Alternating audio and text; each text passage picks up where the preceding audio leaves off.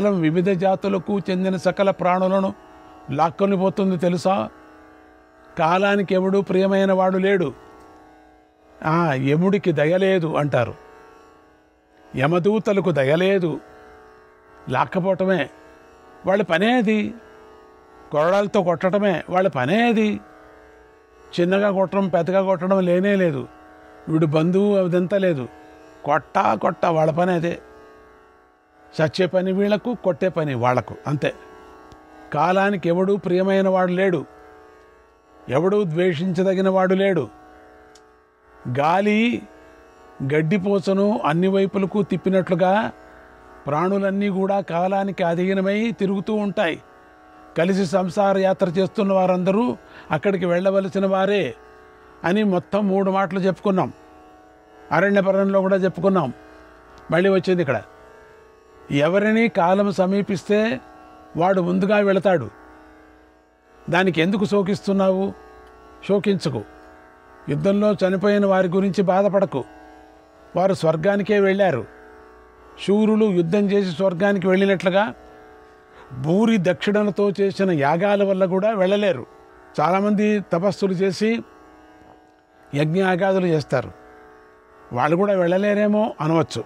కానీ యుద్ధంలో మాత్రం వెళతారు. ఆ శూరులందరూ వేదవేత్తులే.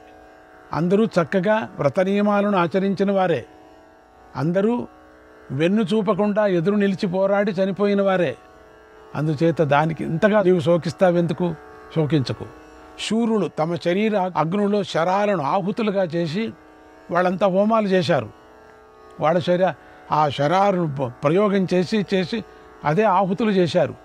మరణిస్తున్నందుకు ఆ ఉత్తమ పురుషులు ఎవరూ కూడా బాధపడలేదు.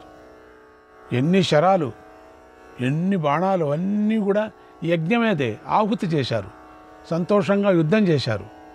అందుకే చెబుతున్నాను ఈ లోకంలో క్షత్రియుడికి స్వర్గం చేరటానికి యుద్ధమే మంచి మార్గం. ఇప్పుడు లేదు అప్పుడు. యుద్ధానికి అందం తెచ్చే మహాత్ములు శూరులైన క్షత్రియులు మరణించి గొప్ప దీవెనలు పొందుతారు. కనుక వారిలో ఎవరి గురించి కూడా శోకించనక్కర్లేదు. నిన్ను నువ్వే ఊరడించుకో. శోకించకు. శోకంతో దెబ్బతిని నీ కర్తవ్యాన్ని విడిచిపెట్టక ఇంకా కొంచెం కర్తవ్యం ఉంది అని చెప్పాడు విదురుడు. అన్నాడు వైశంపాయన మహర్షి. శ్రీకృష్ణాయ పరమాత్మనే నమ. పదవ అధ్యాయం. వైశంపాయన మహర్షి జనమేజయుడికి ఇలా చెప్తున్నాడు. మహారాజా ధృతరాష్ట్రుడు విదురుడి మాటలు విని ఇలా అన్నాడు. రథాన్ని సిద్ధం చేయండి అని చెప్పి వెంటనే విదురుడితో ఇలా అన్నాడు. గాంధారిని ఆమెతో ఉన్న స్త్రీలందరినీ కూడా తీసుకొని రండి. కుంతిని ఆమె వెంట ఉన్న ఇతర స్త్రీలను కూడా తీసుకొని రండి అని విదురుడికి చెప్పాడు. తర్వాత ధృతరాష్ట్రుడు ఎంతో శోకిస్తూ రథం ఎక్కాడు. పుత్రశోకంతో ఉన్న గాంధారి భర్త ఆదేశంతో కుంతితోనూ ఇతర స్త్రీలతోనూ కలిసి మహారాజు వద్దకు వచ్చింది. ఎంతో శోకిస్తూ ఒకరినొకరు పిలుస్తూ ఒకరినొకరు కౌగిలించుకొని పెద్దగా ఏడ్చారు. విదురుడు దీనుడై ఉండి కూడా వారిని ఓదార్చాడు. ఏం చేస్తావు? వారందరినీ రథాలు ఎక్కించి వారితో కలిసి నగరం నుండి బయలుదేరాడు. ఆ తర్వాత కౌరవులందరి ఇళ్ళలోనూ పెద్దగా ఆర్ధనాదాలు చెలరేగాయి. పిల్లలతో సహా నగరమంతా శోకంతో నిండిపోయింది. ఆ కురు స్త్రీలను గతంలో దేవతలు కూడా చూడలేదు. అలా వారు ఎంతో సుకుమారంగా అంతఃపురంలో పెరిగారు. కానీ వారు ఇప్పుడు భర్తలను కోల్పోయి సాధారణ జనులకు కూడా కనిపించారు. వారు తమ అందమైన కురులను విరబోసుకున్నారు నగలను తీసేశారు ఏకవస్త్రాన్ని ధరించారు అనాథల్లాగా యుద్ధభూమి వైపు బయలుదేరారు. వాళ్ళందరినీ చూడాలి కదా. అనేక మంది స్త్రీలు గుమిగూడి ఎంతగానో శోకిస్తూ రణభూమి వైపు బయలుదేరారు. వారు ఒకరి చేతులు ఒకరు పట్టుకొని పుత్రులను సోదరులను తండ్రులను తలుచుకుంటూ పెద్దగా ఆక్రోశించారు. వారు ప్రళయకాలంలోని లోక వినాశ దృశ్యాలను చూస్తున్నారా అనే విధంగా ఉన్నారు వాళ్ళంతా. ఏడుస్తున్నారు. అటు ఇటు పరిగెత్తుతూ ఉన్నారు. శోకంతో తెలివి కోల్పోయి ఉన్నారు. కర్తవ్యాన్ని తెలుసుకోలేకుండా ఉన్నారు. వాళ్ళకి ప్రజ్ఞ పోయింది. గతంలో ఆ స్త్రీలందరూ తమ చెలికెత్తెల మధ్యకు కూడా రావటానికి సిగ్గుపడ్డారు. ఇప్పుడు వారు ఒకే వస్త్రాన్ని ధరించి సిగ్గు విడిచిపెట్టి తమ మామల ఎదుట నిలబడ్డారు. గతంలో ఆ స్త్రీలు చిన్న చిన్న కలతలతో పరస్పరం ఓదార్చుకున్నారు. ఇప్పుడు మాత్రం ఎంతో కలత చెంది ఏమీ చేయలేక ఒకరినొకరు చూసుకున్నారు అంతే అలా ఏడుస్తున్నటువంటి వేల కొద్ది స్త్రీలు ధృతరాష్ట్రుడు చుట్టూ నిలబడ్డారు. ధృతరాష్ట్రుడు వారితో ఎంతో దీనుడై నగరం నుండి యుద్ధభూమికి బయలుదేరాడు. ఆయనతో పాటుగా శిల్పులు వైశ్యులు చేతి వృత్తులు కలవారు. అందరూ కలిసి వెళ్ళారు. అందరూ నగరం బయటకు వచ్చారు కౌరవులందరూ చనిపోయినందుకు ఆ స్త్రీలందరూ పెద్దగా ఆర్తనాదం చేశారు. అందరూ కొట్టుకుంటున్నారు. అప్పుడక్కడ మహాశబ్దం పుట్టింది. వాళ్ళు కొట్టుకోవటంతో అంత శబ్దం పుట్టింది. అది ప్రళయకాలం ప్రాప్తించినప్పుడు ప్రాణులన్నీ అంటే కాలిపోతున్నట్లుగా పెద్దగా వినిపించిందట. అంటే ప్రాణులందరూ వినాశకాలం ఏర్పడిందని భావించారు. అప్పుడు ప్రజలు కూడా తీవ్రంగా కలవరపాటు చెందారు. ప్రజల్లో కూడా చాలామంది వాళ్ళ కొడుకులు మనవుళ్ళంతా పోయారు కదా. మనసుల్లో తమ నాయకులపై అనురాగంతో వారు కూడా పెద్దగా రోధించారు. అన్నాడు వైశంపాయన మహర్షి. శ్రీకృష్ణాయ పరమాత్మనే నమ. పదకొండవ అధ్యాయం. వైశంపాయన మహర్షి జనమేజుడికి ఇలా చెప్తున్నాడు మహారాజా.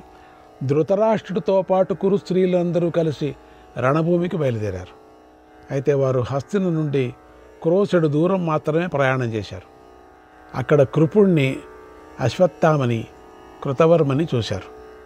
వారు ధృతరాష్ట్రుడిని చూడగానే నిట్టూర్చారు కన్నీరు కారుస్తూ ఏడుస్తూ ఇలా అన్నారు ఓ మహారాజా నీ కుమారుడు దుష్కర పరాక్రమాన్ని ప్రదర్శించాడు.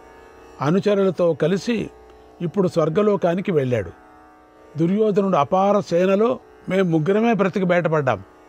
మిగిలిన సైన్యమంతా పూర్తిగా సర్వనాశనం అయిపోయింది అని చెప్పి కృపుడు శోగిస్తూ ఉన్నటువంటి గాంధారి వంక చూసి ఇలా అన్నాడు తల్లి నీ కుమారులు నిర్భయంగా పోరాడుతూ శత్రువులను సంహరించారు.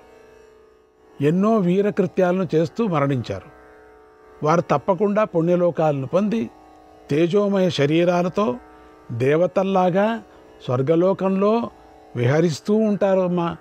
అలాగే మన పక్షంలోని సూర్యుల్లో ఏ ఒక్కడు కూడా పోరాడుతూ వెనక్కు తిరగలేదు. ఎవడూ కూడా చేతులు జోడించలేదు.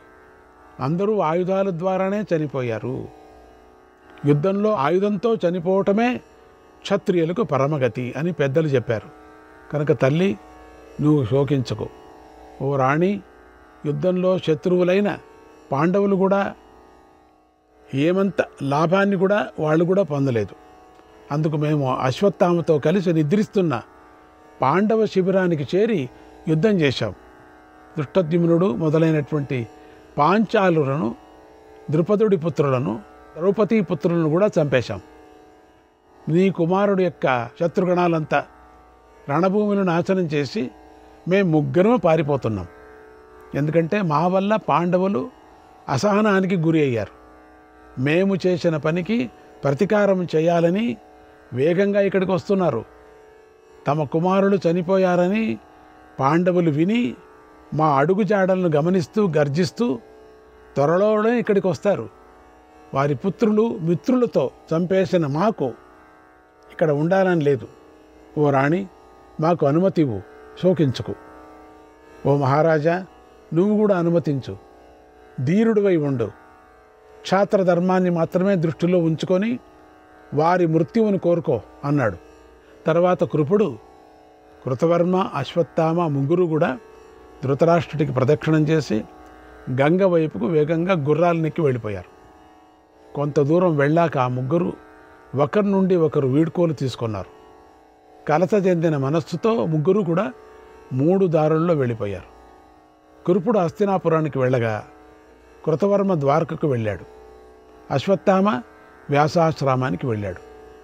పాండవుల విషయంలో పాపం చేసి ఆ వీరులు ముగ్గురు ఎంతో భయపడుతూ ఒకరినొకరు చూసుకుంటూ వెళ్ళిపోయారు. ఆ ముగ్గురు సూర్యోదయానికి ముందే తమ తమ నివాస స్థానాల వైపుకు వెళ్ళారు. అన్నాడు వైశంపాయన మహర్షి. శ్రీకృష్ణాయ పరమాత్మనే పన్నెండవ అధ్యాయం. వైశంపాయన మహర్షి జనమేజయుడికి ఇలా చెప్పాడు ఓ మహారాజా సకల సేనలు సంహరించబడ్డాయి. వృద్ధుడైన ధృతరాష్ట్రుడు హస్తినాపురం నుండి బయలుదేరాడని ధర్మరాజు విన్నాడు. అటు ధృతరాష్ట్రుడు పుత్రశోకంలో ఉన్నాడు ఇటు ధర్మరాజు కూడా పుత్రశోకంలో ఉన్నాడు. అటు ఇటు కూడా బంధువులు పోయారు. ధర్మరాజు సోదరులతో కలిసి ఎంతో బాధపడుతూ దుఃఖిస్తున్న ధృతరాష్ట్రుడి దగ్గరికి వచ్చాడు. ధర్మరాజు వెంట శ్రీకృష్ణుడు సాత్వికి యుయుత్సువు కూడా ఉన్నారు. ఎంతో దుఃఖంతో ద్రౌపది కూడా అక్కడికి పాంచాల స్త్రీలతో కలిసి వచ్చింది. ధర్మరాజు గంగా తీరంలో ఆర్తితో ఆక్రోశిస్తున్న స్త్రీలందరినీ చూశాడు. తర్వాత మరణించినందుకు వేల కొద్ది ఉన్న ఆ స్త్రీలందరూ చేతులు పైకెత్తి ఆర్తితో ఏడుస్తూ ధర్మరాజును చుట్టుముట్టారు. వారు ధర్మరాజుని ఇలా అడిగారు ఓ ధర్మరాజా ఇప్పుడు రాజధర్మం ఏమైపోయింది? రాజు యొక్క దయ ఏమైపోయింది? తండ్రులను సోదరులను గురుపుత్రులను మిత్రులను కూడా చంపించావు. ద్రోణుని చంపి భీష్ముడిని పడగొట్టి జయత్రధుణ్ణి సంహరించావు. ఇంత దారుణం చేయటానికి నీకు మనస్సేలా వచ్చింది? ఇప్పుడు పితరులు సోదరులు అభిమన్యుడు ద్రౌపది పుత్రులు కూడా లేరు. ఇక ఈ రాజ్యాన్ని నువ్వు ఏం చేసుకుంటావు? అని క్రౌంచ పక్షుల్లాగా వారు ఆక్రోశించారు. ధర్మరాజు వారి మాటలు విని వారిని దాటుకుంటూ పెదనాన్నైన ధృతరాష్ట్ర మహారాజుకు నమస్కారం చేశాడు. తర్వాత పాండవులందరూ ధర్మరాజును అనుసరించి ధర్మానుసారంగా నమస్కారం చేసి తమ పేర్లను చెప్పారు. అప్పుడు ధృతరాష్ట్రుడు పుత్రవధతో ఎంతగానో పీడించబడుతున్నాడు. తన కుమారులందరినీ చంపినందుకు ఆయన ధర్మరాజును అయిష్టంగానే కౌగిలించుకున్నాడు. ఓదార్చాడు. తన పుత్రులందరినీ చంపిన భీముణ్ణి మాత్రం వదలకూడదు అనుకున్నాడు లోపల లోపలే. అగ్నిలాగా కాల్చివేయాలని అనుకున్నాడు. ధృతరాష్ట్రుడు అతడి కోసం ఎదురు చూశాడు.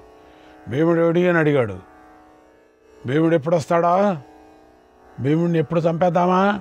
అని మనస్సులో ఆలోచించుకుంటూ ఇంకా చూడండి ఇన్ని ఉపదేశాలు విన్నాడు. ఇంకా భీముడిని చంపాలనుకున్నాడు. ఏమండి ఇది? అందుకే అండి మహాభారతం అని చెప్పేది. ఇట్లుందండి మహాభారతం అంటే. ఇదండి మహాభారతం అంటే. భీముడి కోసం ఎదురు చూశాడు. అప్పుడు ధృతరాష్ట్రి కోపాన్ని శోకమనే గాలి చేత వీచబడుతూ భగ్గుమని మండుతోంది. భీముడు గనక దగ్గరకు వస్తే మాత్రం అంతే. భస్వం చేసేలాగా ఉంది. ఇలా ఉన్న ధృతరాష్ట్రుడి సంకల్పాన్ని అంతర్యామి అయినటువంటి శ్రీకృష్ణుడు గ్రహించాడు. తెలిసిపోయింది కృష్ణుడికి. పక్కలోనే ఉన్నాడు కదా. ధృతరాష్ట్రుడు ఆలోచనలు పసిగట్టాడు. ఇప్పుడు గనుక భీముడిని పంపిస్తే ధృతరాష్ట్రుడు చంపేస్తాడు. అంత కోపంలో ఉన్నాడు. ఎందుకంటే నేను చెప్పాను కదా అప్పుడు శరీరం అంత గట్టిగా ఉందని. పడుతూ ఉంటే అక్కడ ఉండే చెక్కలన్నీ పగిలిపోయానని చెప్పాను కదా. ఎంత గట్టిగా ఉన్నాడో చెప్పండి మరి. ఎవరికి తెలియకోకుండా కసరత్తు చేస్తున్నాడట. ఇప్పుడు తెలుస్తుంది ఎందుకని. కనుక ఎలాంటి పరిస్థితుల్లో కూడా భీముణ్ణి పంపించకూడదు అని నిర్ణయించుకున్నాడు కృష్ణుడు. అమ్మో భీముణ్ణి పంపిస్తే అంతే కథ. అంతలో భీముడు పెదనాన్న మీద ప్రేమతో నాన్న పెదనాన్న పెదనాన్న అని నమస్కారం పెట్టాలని వేగంగా ముందుకు తస్య సంకల్పమాజ్ఞాయ భీమం ప్రత్యశుభం హరిహి భీమమాక్షిప్య పాణిభ్యాం ప్రదదౌ భీమ మాయసం వెంటనే శ్రీకృష్ణుడు భీముడికి జరిగేటువంటి అశుభాన్ని గ్రహించాడు. తక్షణం చేతులతో భీముడిని లాక్కున్నాడు. పక్కకి నెట్టాడు పక్కకి నెట్టి లోహంతో చేసినటువంటి భీముడి ప్రతిమను ధృతరాష్ట్రుడి ముందు ఉంచాడు. ఏయ్ తోశాడు మెల్లగా. మహాబుద్ధివంతుడు మహాప్రాజ్ఞుడైనటువంటి కృష్ణుడు ధృతరాష్ట్రుడి అభిప్రాయాన్ని ముందే గ్రహించాడు కదా.